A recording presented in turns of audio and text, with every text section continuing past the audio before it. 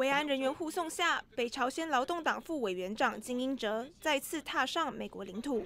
김영철 부위원장은 이곳 현지 시간으로 18일 국무부 청사 등에서 폼페이오 장관과 고위급 회담을 진행할 것으로 보이는데요. 外传金英哲带着领导人金正恩亲笔信，正式回应美方川金二会相关细节，让延宕数个月的会谈更具明朗。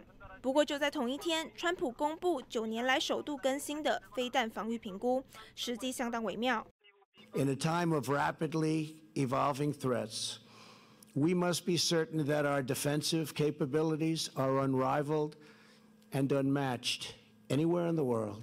川普演说表示，将提升美国飞弹防御系统，包括巡弋和高超音速飞弹。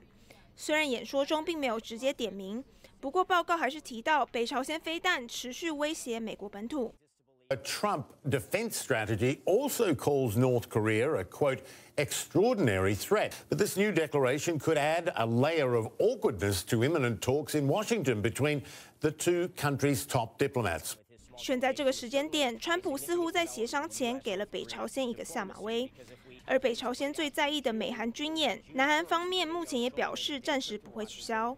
外媒表示，金英哲结束访问后，可能就会公布川金二会的进一步消息，猜测将在三或四月举行，其中又以越南岘港市可能性最高。大爱新闻杨晴编译。